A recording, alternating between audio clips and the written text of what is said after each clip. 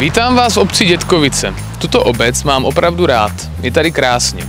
Vím, o čem mluvím, jelikož bydlím hnedka ve vedlejší vesnici. Tentokrát pro vás mám dům k rekonstrukci s krásným velkým pozemkem, který můžete využít k výstavbě. Budu rád, když se na něj přijedete podívat.